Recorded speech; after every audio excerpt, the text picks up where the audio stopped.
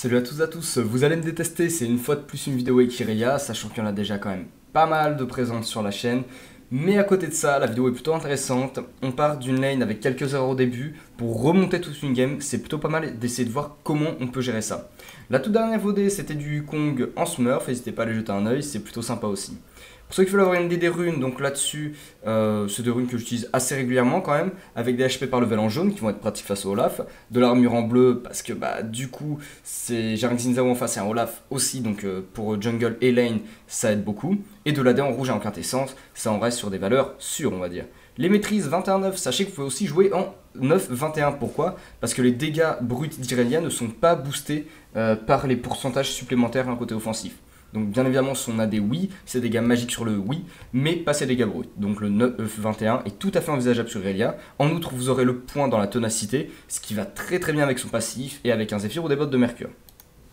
Donc pour cette game, comme je disais en fait, on se retrouve face à un Olaf top lane. Alors pourquoi est-ce que Olaf depuis longtemps est considéré comme entre guillemets un counter d'Irelia? Parce que Olaf donc fait des dégâts bruts sur une courte durée. Donc potentiellement en fait, euh, si vous voulez gagner un trade avec le Olaf, il faut que vous ayez le temps de mettre plusieurs plusieurs autoshots, alors que lui n'a le temps de mettre qu'un seul E. Donc il y a deux choix en fait. Soit il le trade est très court, il vous met un E, vous mettez un autoshot, vous avez perdu, il fait plus de dégâts bruts que vous. Soit vous pouvez mettre plusieurs autoshots, il met un E, vous avez gagné. Soit vous mettez plusieurs autoshots, il met deux E, vous avez perdu. C'est vraiment assez compliqué de gérer ça, euh, parce que Olaf en plus, avec chaque autoshot, réduit le CD de sa frappe sauvage, le E du coup qui fait des dégâts bruts. Son E a une range plus grande que votre autoshot, Bref, c'est un peu la galère, et en plus de ça, Olaf va se stuff avec des HP assez facilement. Ça va très bien avec le personnage, du coup on le retrouvera très souvent un peu tanky. S'il fait un Randuin face à une Irelia, vous êtes complètement dans le caca. Parce que Randuin baisse votre vitesse d'attaque, dispose d'armure, ce qui baisse vos dégâts d'autoshot, dispose de HP, ce qui baisse l'efficacité du coup de vos dégâts bruts.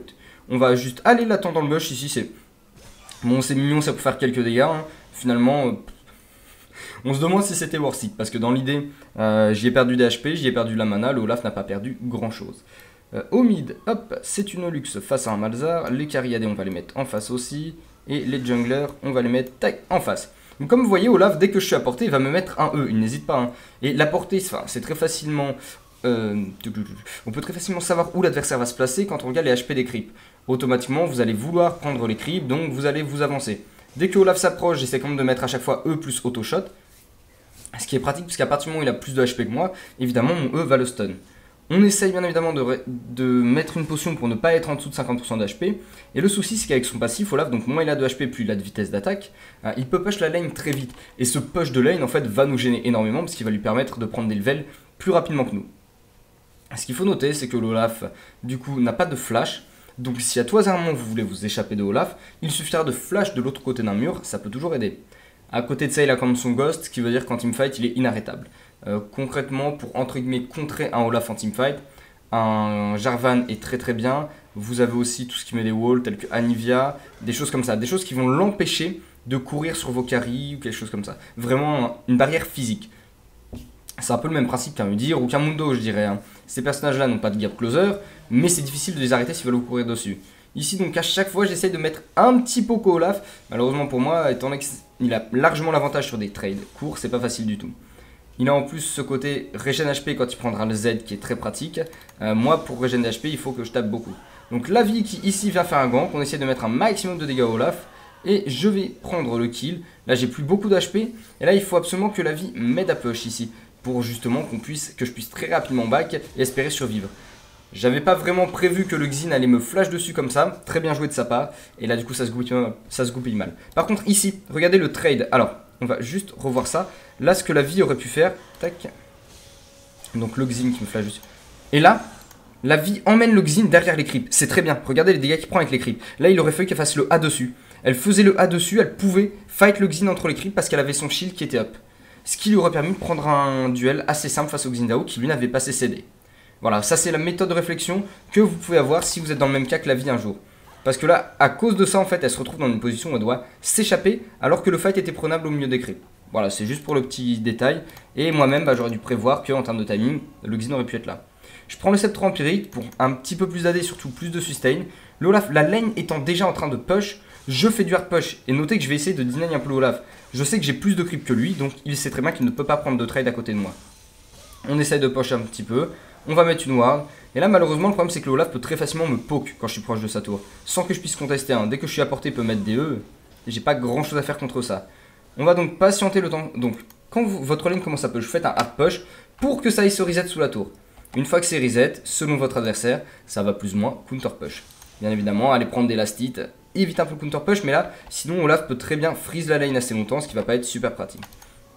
On est donc finalement dans une phase où on est à peu près équivalent, le Olaf et moi, pas vraiment d'avantage, à part que lui a un personnage légèrement plus fort en termes de 1v1 sur des trades assez courts. Donc là, j'ai l'avantage qu'avant le level 6, je peux le stun. Malheureusement pour moi, vu les dégâts que je prends, c'est assez compliqué. Euh, j'ai été peut-être gris dans la style de trop. La seule chose que ça a permis, c'est que du coup, il est en train de push ma lane. S'il est en train de me push, ça veut dire que je vais bientôt me retrouver sous tour avec du free farm. Avec du free farm, faut voir ça un petit peu de fa... faut temporiser ça, faut nuancer un petit peu. Pourquoi? Parce que dès que je vais aller chercher des lastites sous ma tour, l'Olaf va pouvoir me mettre des E. Et ça, c'est assez gênant. J'ai l'ultime qui up, et l'ultime me permet aussi de me régénérer si nécessaire. Ça, c'est plutôt pas mal. Tant que l'Olaf n'est pas sur la lane, on se régène tranquillement sur les creeps. N'hésitez pas à utiliser votre A hein, pour euh, plus facilement. Irelia est un personnage qui, normalement, a un lastite plutôt aisé sous tour. Justement grâce à ses auto-shots, son E, ses dégâts bruts si nécessaire, son A qui lui permet aussi d'être reset à chaque fois que vous tuez un creep. Bref, vous ne devez pas avoir trop de problèmes là-dessus. Donc il faut bien essayer de gérer les dégâts de votre A, etc. Coup de tour, auto-shot, A. Normalement, ça passe plutôt bien. Le Olaf qui à chaque fois essaie de me mettre des dégâts. Là, j'attends qu'il s'éloigne. Je me dit que j'allais le stun avant sa frappe sauvage. Et non, la frappe sauvage est passée quand même. C'était un petit peu une déception. Malheureusement, c'est. On n'a pas la line la plus simple du monde. Hein. À partir de 100 points de mana, je peux balancer l'ultime pour me régénérer. Donc, automatiquement, là, en fait, je suis en train de me demander pourquoi est-ce que je, je ne l'ai pas fait. Ah oui, voilà. Je me disais bien que j'allais le faire à un moment. Parce que dans tous les cas, mon ultime me sert à la stit assez facilement et à me régénérer des HP. Ce qui est plutôt pas mal. Mais le problème, c'est que ça counter push un peu. Le Olaf étant là, c'est compliqué pour moi d'aller juste prendre un petit train. Il tente le dive, et là, malheureusement, c'est assez compliqué pour moi. Il se gêne pas, le gars. Ghost, etc. J'aurais pas dû aller grid le creep. J'aurais pas dû aller grid le creep. C'est assez gênant. C'est que là, je suis pas bien du tout. Euh, niveau farm, je suis un petit peu en dessous. Niveau XP aussi, du coup, puisque le Olaf maintenant est level 8. Je suis level 7. Niveau item, donc j'ai ma Bilge Water qui me permet un petit peu de dégâts en plus. Hein, ça fait 25 AD. Plus le lifesteal qui est pas mal sur la lane et euh, un rubis cristal qui me permettra de faire le phage. Pourquoi le phage? Parce que Olaf fait des dégâts bruts, donc des HP supplémentaires, c'est toujours pratique. Ça fait que sa frappe sauvage me fera perdre un pourcentage de HP plus réduit. J'essaye de rapidement hard push la lane, hein. de toute façon je sais que je ne peux pas le fight. Donc j'ai aucun intérêt à rester au milieu de la lane pour essayer de faire du deny, du fight ou des choses comme ça. On fait hard push, et ensuite on va essayer de voir si je peux avoir une utilité autre part, au minimum en allant ward, et en décalant un petit peu. Je vais check quand même au niveau buff, du buff pardon, pour avoir la vision. On sait que normalement il est fait vers 8 minutes 30. Là j'ai donc une minute de retard, mais au moins ça me permet d'avoir la vision de savoir quand il va repop, potentiellement de pouvoir se dire tiens mon adversaire est à cet endroit là, parce qu'il devrait y être. L'Olaf comme d'hab qui ne se gêne pas, hein, qui vient faire coucou. Euh, le coucou qui m'est mis live, c'est assez douloureux quand même. Mais là, par temporiser la lane et attendre que de pouvoir prendre un trade, je dirais positif, je peux pas faire grand chose. On attendra donc niveau stuff, ça va faire de la Trinité, BOTRK, enfin un truc plutôt tranquille hein, pour faire quelques dégâts quand même. Cependant, j'aurai aussi besoin d'un Randuin. Pourquoi? Olaf a de l'attaque speed, Vayne bénéficie de l'attaque speed et Xinzao aussi. Et ça, c'est vraiment important. Le régène de Irelia sous tour qui est toujours pas mal. Euh, ne pas hésiter si vous le souhaitez vraiment à activer votre style Iten pour mieux vous régénérer. On rappelle que lorsqu'il est actif, le style Iten double les HP reçus. Donc là en passif c'est 11, vous passez à 22. Plus le lifesteal, ça devient vraiment intéressant. Là, je vais pas grid creeps comme tout à l'heure, j'évite de faire cette erreur-là. Hein. Je l'ai faite une fois, ça a été un peu compliqué. L'Olaf, lui, ne se gêne pas, je dirais, pour venir me mettre des dégâts. De toute façon, Olaf, euh, faut faire attention, c'est que des fois, il va vous bait. Quand il est bas en vie, on rappelle qu'il a plus de vitesse d'attaque. Et quand il active son Z, il bénéficie de lifesteal. Donc en gros, plus il est bas en vie, plus il va se régénérer assez rapidement. C'est plutôt chaud à gérer parfois dans les trains. Il y a la vie qui est à côté, mais elle a été vue, évidemment. Le Olaf par contre qui a reculé, donc je vais pouvoir push ma lane. L'avantage en faisant du push de lane, c'est aussi que je me régène mes HP. Et ça c'est plutôt pas mal.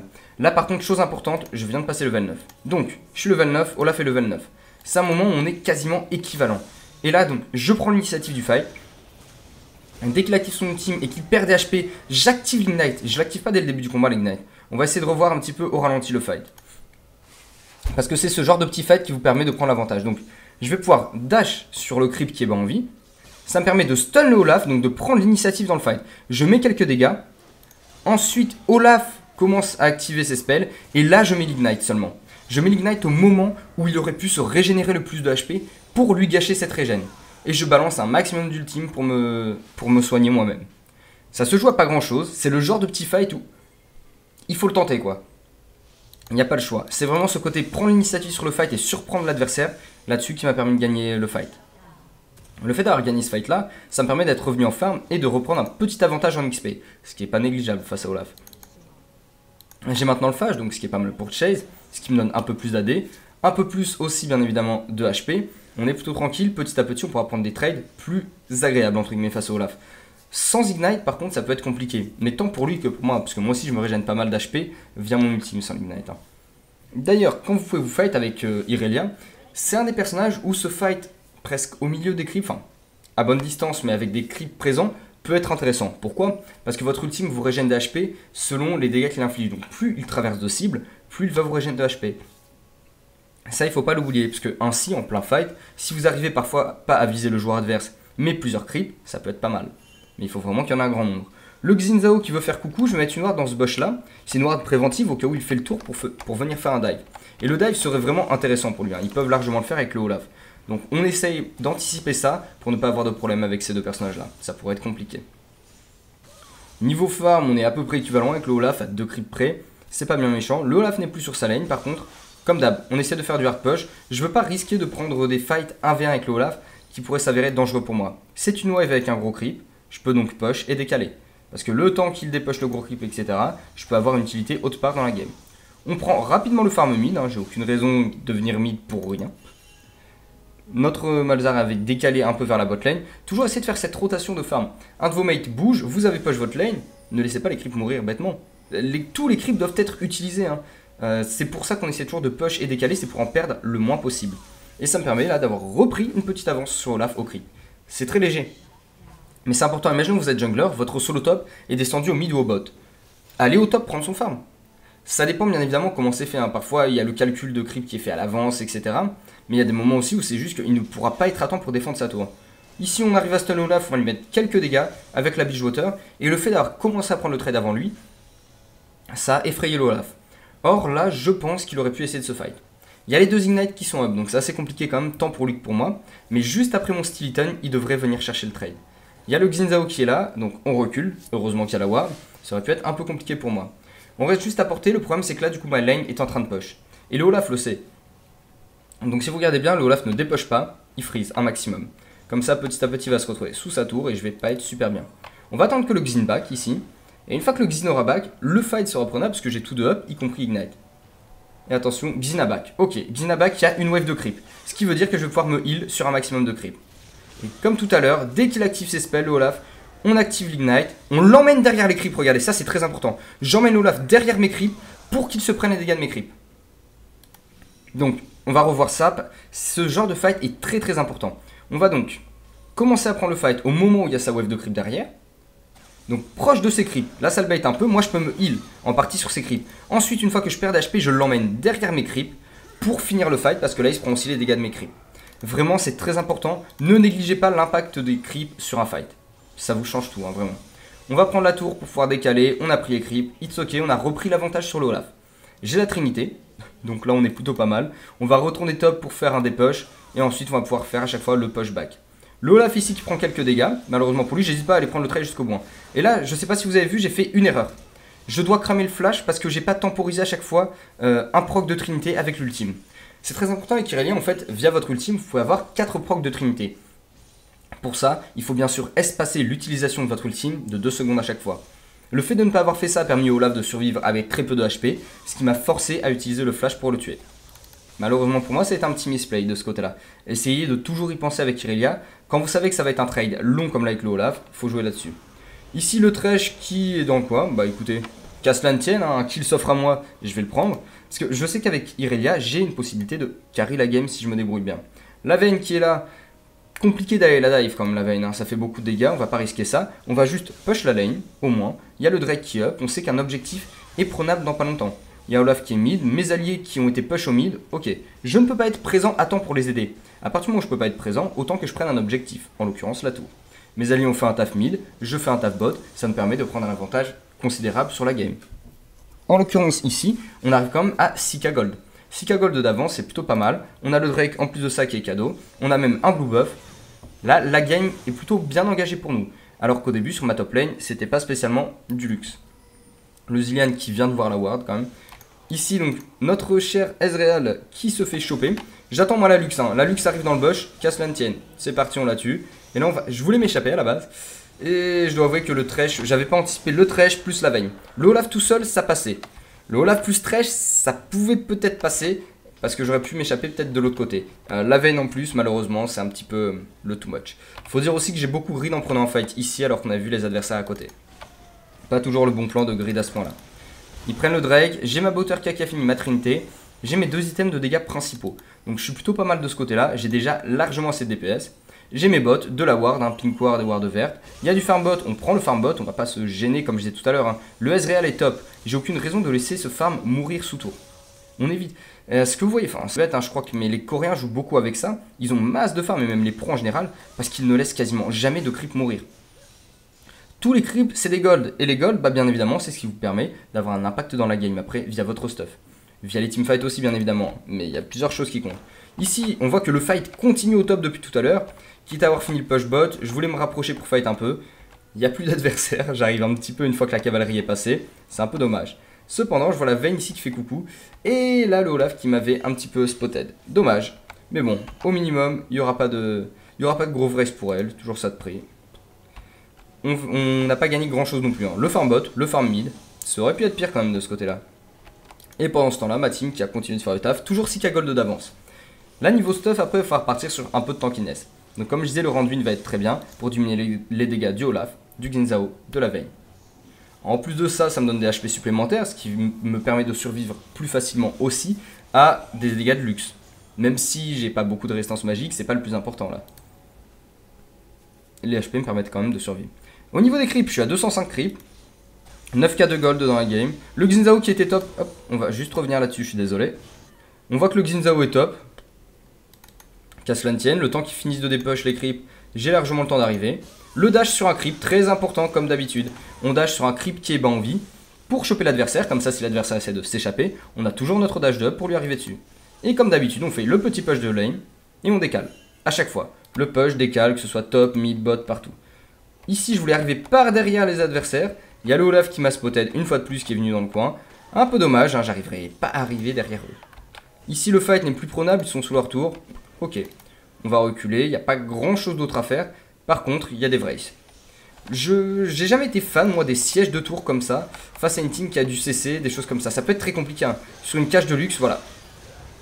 Malheureusement, c'est moi je préfère vraiment jouer ce côté un petit peu safe. Bon, là-dessus on va comme revenir dans le fight. Les adversaires n'ont plus rien finalement.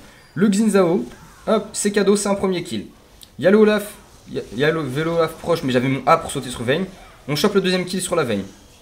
On a le, le Trash ici qu'on finit à l'Ignite.